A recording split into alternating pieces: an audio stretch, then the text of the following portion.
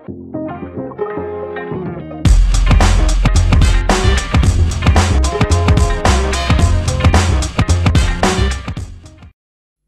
soal kali ini kita akan mengerjakan soal tentang aritmatika sosial yaitu pada bab 7 diketahui bahwa harga 35 kg beras A sama dengan 192.500 kita garis bawahi. Lalu harga 15 kg beras B sama dengan 67.500 harga jual beras campuran adalah 6.500 per kilogram tentukan keuntungan yang diperoleh pedagang tersebut nah jadi kita cari dulu harga uh, harga jual beras campuran tersebut sebanyak ini. Jadi kita bagi harganya harga dibagi jumlah kilo berat.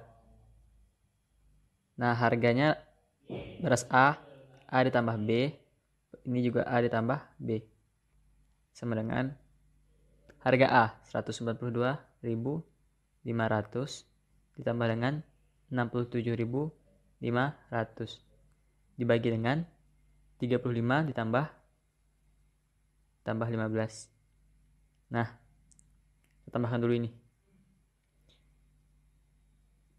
192 500 ditambah dengan 67 500 0 0 0 simpan 1 di sini. 0 simpan 1 sini. 6 jadi sama dengan 260 ribu. Harusnya 270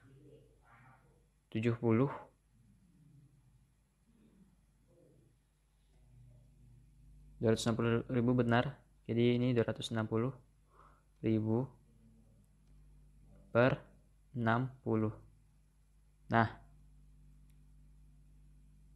Salah ini 50 50 maksudnya. 35 tambah 15 itu 50 50 ya? 50 nah jadi kita bagi tuh. Jadi hasil baginya kita hapus dulu yang kiri dulu sebelumnya agar lebih enak dilihat. Jadi 260 ini kita bagi coret nolnya. 5 dibagi 260 itu sama dengan 52 sama dengan 52 5200 nah jadi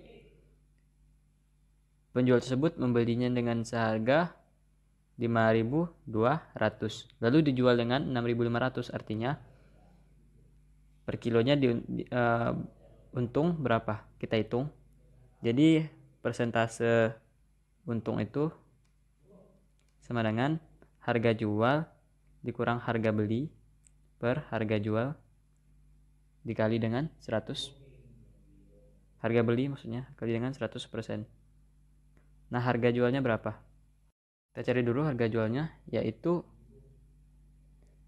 uh, ini 50 tadi 50 kg itu kan dijual sebanyak 6, 50 kita kali dengan 6500 sama dengan 325.000 325.000 ini harga jual 50 kg beras jadi kita bisa lanjutkan rumusnya 325.000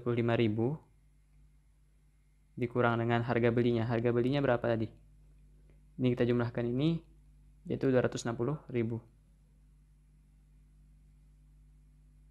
Nah, per harga beli 260 ribu. Dikali 100% ya, jangan lupa. 100%. Nah, kita kurangkan dulu. 125 dikurang 260 ribu sama dengan 65 ribu. Dibagi 260 ribu.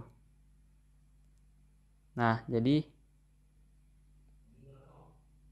ini sama dengan 0,25 0,25 dikali dengan 100% sehingga keuntungan yang diperoleh adalah sebanyak 25 persen